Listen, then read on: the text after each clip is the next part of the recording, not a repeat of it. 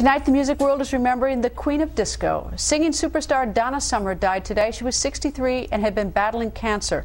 Donna Summer rose to worldwide fame in the 1970s. Her hit songs, including Bad Girls and Hot Stuff, they became the soundtrack for the disco era.